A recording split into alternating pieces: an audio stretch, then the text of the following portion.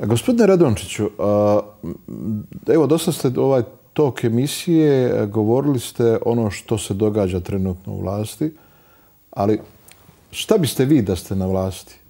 Vi ste, kad ste osnovali stranku, rekli ugovor s narodom, odrekli ste se svojih primanja, u vašoj stranci jedinoj nema bijelog hljeba. Šta biste vi uradili? Pa dobro, ja i sada dajem plaću u humanitarne svrhe e, kao član Doma naroda.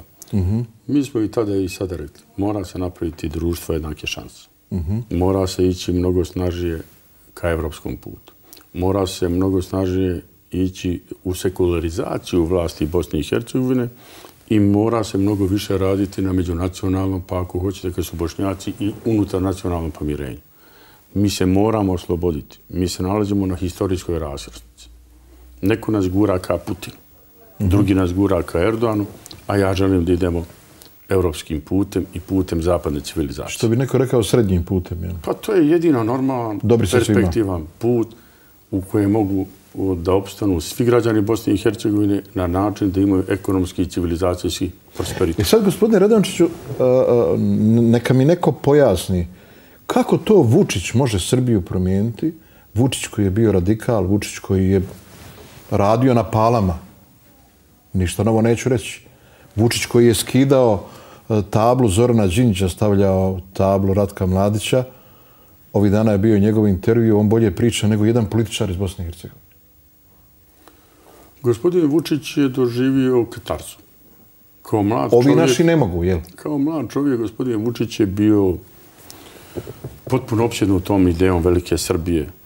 Mladi ljudi imaju ambiciju, potrebu, intuiciju da ponekad slijede starije i pogrešnije osobe. Mm -hmm. Umeđu vremenu sazrijevaju kao političari, kao ličnosti, kao intelektualci. Vi imate danas gospodina Vučića koji je uh, generator promjena Srbije i njenog euroatlantskog puta. To je bilo nezamislivo. Ali gospodin Vučić je mnoge greške pravio kao vrlo, vrlo mlad čovjek. Problem u Bosni je da vi očekujete da nas mijenja neko ko 25 godina provodi politiku, bilo iz sjene, bilo ovaj, sa prve pozicije. Nema promjena. I ja mislim da su zato ovi ljudi iz SDA shvatili u glavama onih koji provode ideju mladih muslimana od 40 i neke godine do danas. Oni su samo Bosnu i Hercegovini shvatili kao odličnu priliku jednog prostora koji treba podijeliti na način da mi kažemo Srbi hoće RS, Hrvati hoće Herceg, Bosnu i treći entitet, a nama muslimanima ostaje muslimanska državica koja će biti panislamistički nosač aviona gdje će se jesti zlatim kašikama. U Bosni i Hercegovini moraju da se pojave ljudi kompromisa pomirenja i kojem prvenstveno vjeruje i njihov narod, ali i druga dva naroda i svi ostali građani. Mislim da je tu problem koji ne može da riješi u ovom trenutku ni gospodin Izetbegović, ni ta ekipa u njega. A, od tog nesretnog rata prošlo je 20 godina.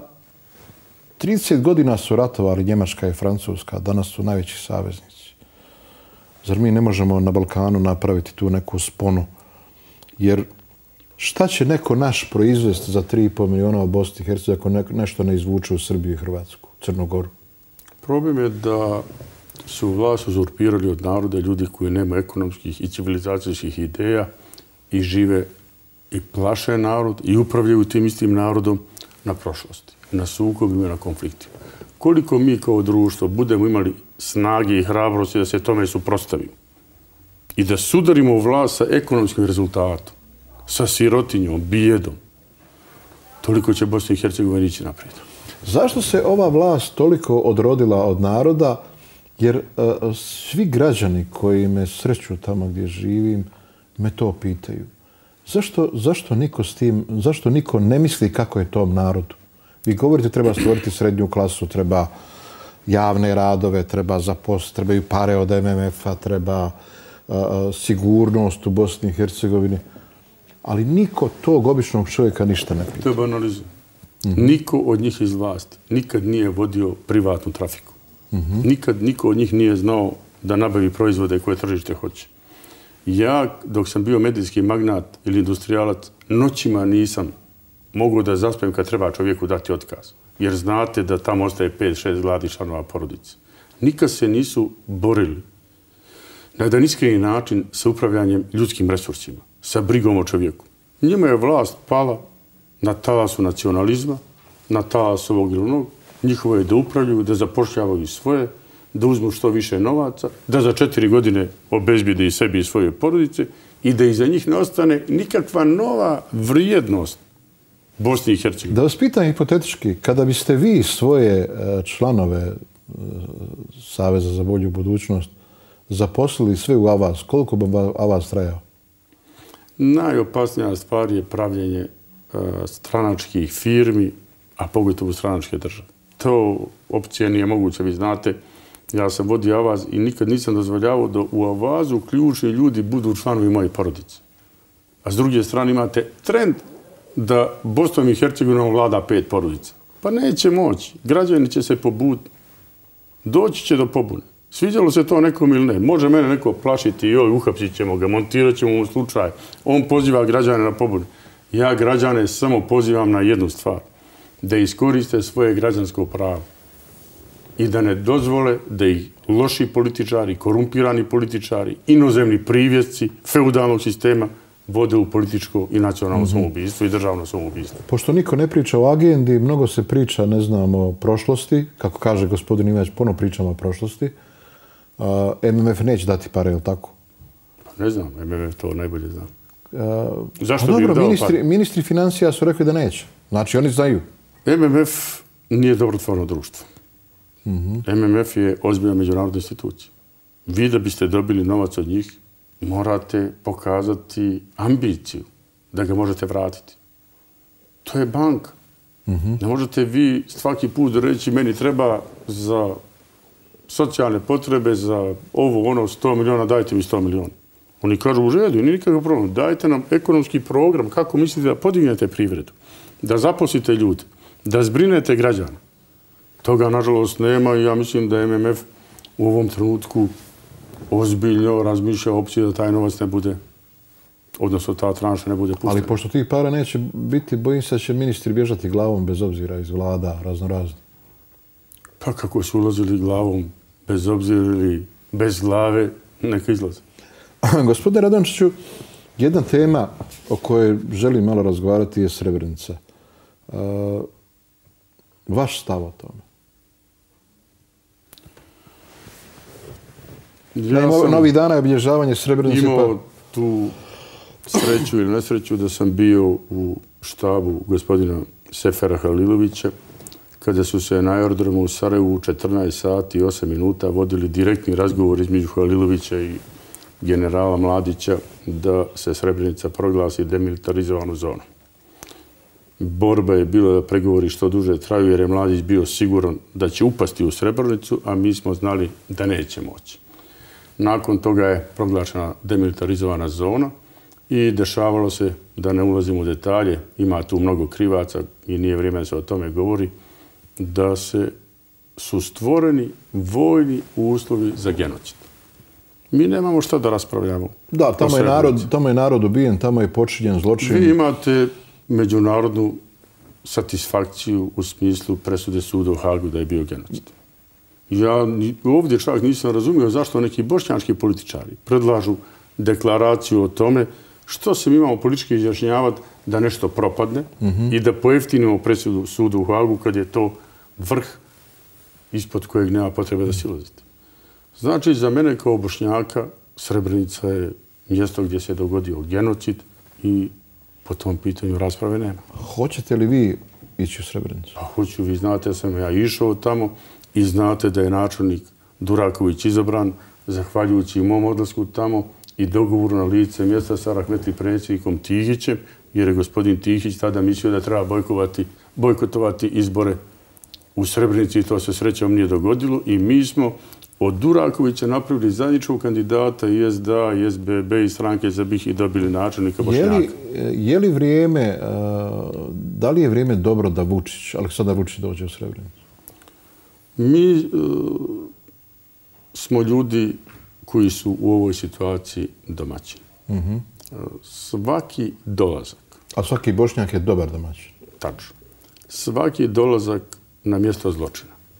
Predstavnika naroda koji je počinio taj zločin ima svoju moralnu težinu. No gospodinu je Vučiću da odluči šta će on uraditi.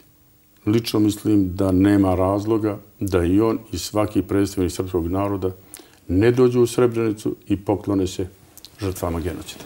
A, prije mjesec dana ili dva, ne znam tačno, tamo je bio Milorad Dodik, e, poklonio se, cvijeće stavio. Jel? A, jedna samo rečenica uz dužno poštovanje prema Srebrenici, ono, kapa do poda, jel, svim tim ljudima.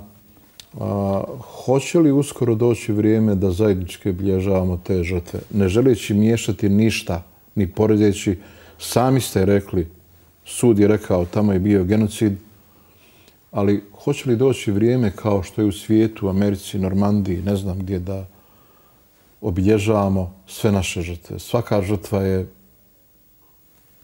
bolna. Ja sam pažljivo slušao govor gospodina Vučića. Gospodin Vučić je rekao neke stvari koje su bile nezamislive mm -hmm. u ime srpskog naroda. Nažalost, nije spomenuo riječ genocid, ali ovo drugo što je rekao ima veliku težinu upravo ka, ja to doživljam, korak ka tome o čemu vi govorite. Nema razloga, ja sam uvijek govorio, da bošnjaci kriju zločine koji su počinili njihovi poznacima navoda. Pripadnici, ako mi krijemo da je, su, da je, bio, da, da, da je bio veliki zločin na mjestu koje se zove Kazanje u Kosarevu, da je bilo i drugi zločina, onda mi pravimo grešku onih koje kritikujemo. To je, gospodin Radonjić, sasvim dovoljno o tim stvarima zato što ne želim da ode priča na neku drugu stranu, da neko pogrešno ne shvati, jer Srebrenica jedna u svijetu, ne samo, ne samo u Bosni i Hercegovini. A, I za kraj, kažete mi, gospodine a, a, da li vi doista istinski želite da ovu zemlju izvučete iz krize, a time da uđete u vlast? Ne bih ja to poistovjećivo. Ja, ja, hoću da, ja hoću da poistovjećujem i prozivam vas da uđete. Shvatio sam to tako. E, ovaj, na mene se vrši ogroman pritisak da uđem u vlast i da povučem zemlju naprijed. Ja neću da uđem u tuđi voz. Jednom sam ušao, jako sam mnogo uradio u Ministarstvu sigurnosti, nezamislive stvari koje su čekale po deset godina i to sa Srbima i Hrvatima i tamo smo pomjerili planine. Da biste izvukli zemlju iz krize, morate to uraditi sa parlamentarnom većinom. Mm -hmm. Neovisno koje su stranke ili djeluju ti stranaka u pitanju, koja to iskreno želi. Ako uđete u vlast s onima koji će vas rušiti, koji će vam organizirati demonstracije, koji će vas proglašavati četnikom, teroristom, da nikad niste otišli u Srebrenicu, da nikad niste otišli na mezare Kovači, da vas vrijeđa, vi znate koje sve to radi. Onda ste vi postali zamjena za SDP, za stranku za BiH ili DF, a to meni nije ni na kraj pameti. Ili ćemo povesti zemlju naprijed, ili nećemo ulaziti u vlast. Poštovane gledalci, bio ovo Fahrudin Radončić. Čuli ste njegovu priču aktuelno u ovom trenutku. Nakon ove emisije shvatio sam da postoje ljudi koji, koji mogu i ljudi koji valjda neće. Mi se vidimo za sedam dana u novoj emisiji Telerin kada ćemo govoriti o švajcarskom franku sa najodgovornijim ljudima iz Kipa banke. Baba, hvala.